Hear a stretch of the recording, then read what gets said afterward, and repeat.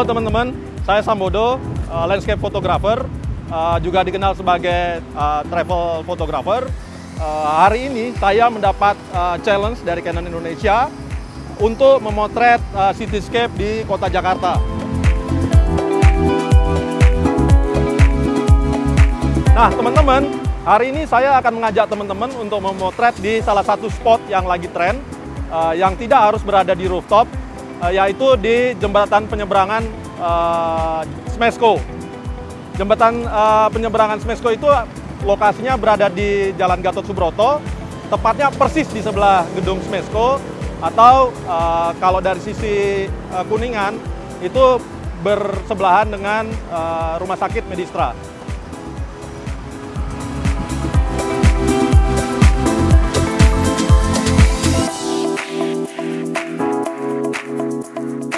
Yuk teman-teman, uh, kita naik ke atas lokasi uh, untuk melakukan pemotretan.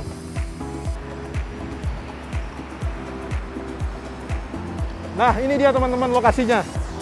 Uh, tepat kita berada tepat di atas jembatan penyeberangan orang. Kebetulan mataharinya hari ini cukup bagus, cuma lalu lintas agak, agak sedikit macet.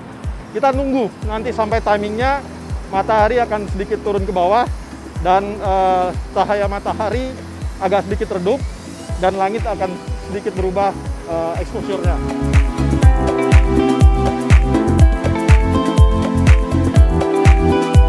Uh, sebenarnya uh, lokasi pemotretan di JPO tidak hanya ada di uh, Smesco, uh, khususnya di Jakarta ya. Kita ngomong spot yang ada di Jakarta. Jadi bisa di jembatan Sudirman, jembatan Gundul yang ada di Sudirman, atau bisa juga di uh, jembatan penyeberangan yang lagi viral juga yang dia ada di Gelora Bung Karno atau bisa juga di HI atau mungkin beberapa teman-teman juga banyak melakukan di jembatan yang berada di Grogol. Nah, cuma kali ini saya mengajak teman-teman uh, untuk melakukan pemotretan di DPO Smesco karena menurut saya unik.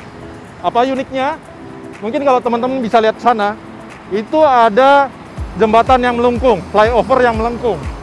Ya, itu kalau di fotografi kita menyebutnya itu adalah uh, leading line. Jadi leading line-nya itu mengarah ke hotel yang ada di belakangnya. Nanti pada saat cahaya udah meredup, kemudian matahari uh, agak lebih kalem dan memunculkan warna-warna yang indah, itu cahaya lampu-lampu dari mobil-mobil ini akan mengarahkan mata kita ke arah gedung yang ada di belakangnya.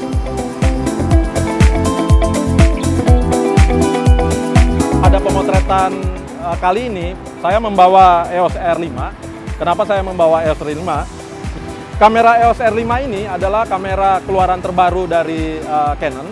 Uh, memiliki megapiksel yang gede, yaitu uh, 45 megapiksel. Kenapa saya memilih kamera dengan megapiksel yang besar?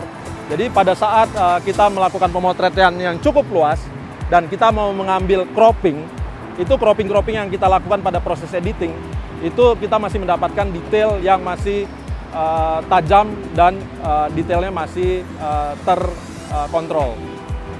Uh, pada saat pemotretan landscape atau cityscape, kita tidak harus melulu menggunakan lensa uh, super wide. Kita juga bisa menggunakan lensa tele 70-200 atau Uh, kebetulan di sini ada saya membawa RF 2405. Nah, dengan lensa 2405 ini nanti saya akan mencoba mengajak teman-teman untuk membuat komposisi, mengisolasi bangunan-bangunan yang lainnya untuk mendapatkan detail uh, bangunan yang ada di belakang sana, hotel yang ada di belakang sana, supaya mobil-mobil uh, dengan lampunya nanti yang menyala itu akan terlihat lebih jelas.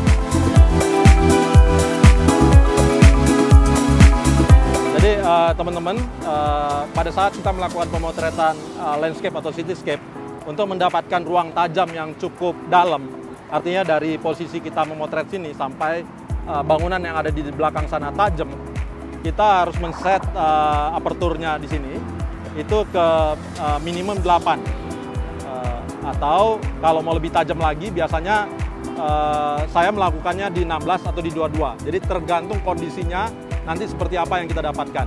Aperture kita uh, tetapkan, kita setup. Uh, itu ISO tetap di 100 saja karena kita untuk mendapatkan uh, detail yang lebih uh, banyak, lebih tajam tanpa ada noise. Untuk mendapatkan uh, exposure yang well balanced, yang enak dilihat supaya dia menjadi normal, itu kita tinggal ngeset si uh, speed shutternya, ya itu uh, kita perlambat sampai kemudian detailnya muncul. Ya seperti ini, kurang lebih seperti ini. Nah itu bisa dilihat di di sini ini exposure.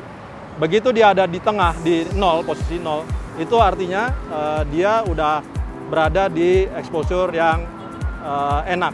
Tapi biasanya pada saat saya melakukan pemotretan landscape atau cityscape, biasanya saya akan turunin satu stop. Nah ini saya turunin satu stop, atau kadang-kadang dua stop. Karena apa? Biasanya bagian-bagian yang uh, underexposed seperti ini agak gelap, itu pada saat proses editing, itu nantinya bisa akan kita naikkan. Tapi ada hal yang lebih penting pada saat kita sebelum melakukan pemotretan, yaitu uh, melakukan setup uh, picture style. Jadi kita akan tekan menu. Nah ini di uh, menu shoot nomor 3 ya itu ada picture style. Uh, ininya defaultnya standar. Ini kita harus rubah sesuai dengan genre kita hari ini kita dalam melakukan pemotretan cityscape atau landscape. Kita pilih ke landscape. Oke. Okay.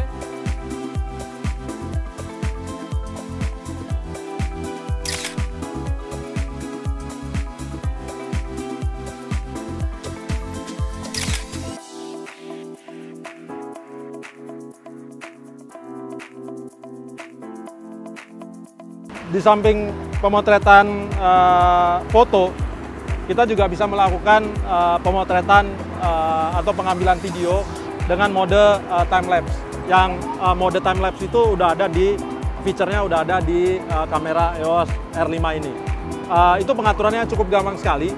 Itu uh, dengan men-set si uh, fungsi kamera ini yang tadinya dari fungsi uh, fotografi menjadi uh, videografi. Ini ada uh, opsinya di sini, kita tekan di sini. Nah, di sini ada pilihan, exposure-nya bisa uh, auto exposure atau manual. Saya pilihnya yang manual exposure. Oke, okay. kemudian uh, tekan menu. Di menu ini nanti ada uh, pengaturan time lapse. Itu ada di shoot nomor menu shoot nomor 5. Itu di bawah itu ada time lapse. Itu disable. Kita menjadikan uh, kita set menjadi uh, enable.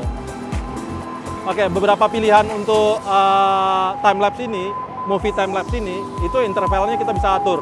Dia bisa berhenti tiap 3 detik atau 2 detik atau uh, uh, lebih panjang sekalipun.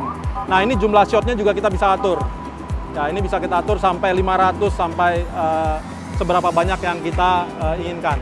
Balik lagi, makin panjang uh, jumlah shot yang kita ambil dan makin uh, apa intervalnya kita uh, panjangkan, itu waktu pemotretannya jadi lebih panjang juga. Jadi kalian bisa atur-atur, bisa hitung-hitung kurang lebih untuk pemotretan uh, apa pengambilan video time lapse ini kurang lebih uh, berapa lama.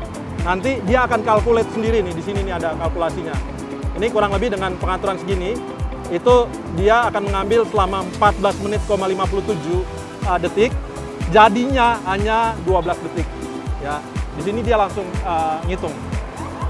Ya, ini kita tinggal Begitu udah selesai semuanya, uh, kita tekan tombol uh, record. Kemudian setelah dia akan uh, nanya ke kita udah siap untuk di uh, uh, foto untuk timelapse atau belum. Begitu kita udah uh, siap, kita tinggal tekan uh, tombol shutternya.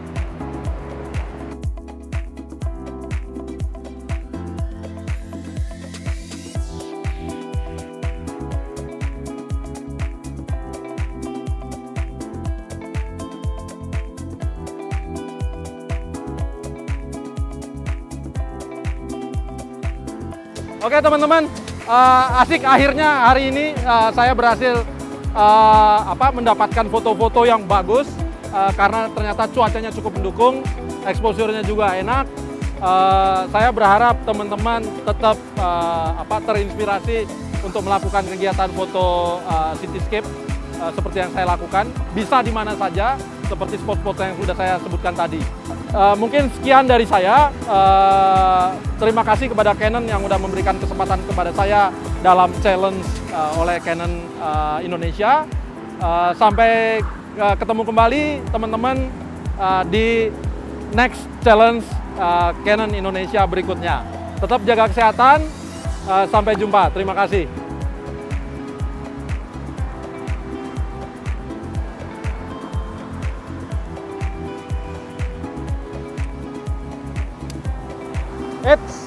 Oh iya teman-teman, ada yang kelupaan teman-teman. Jangan lupa uh, komen dan like uh, channel YouTube Canon Indonesia.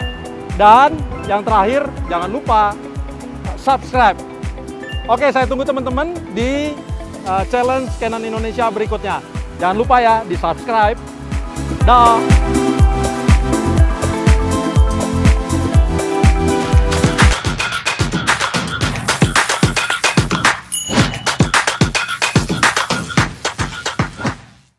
Canon, delighting you always.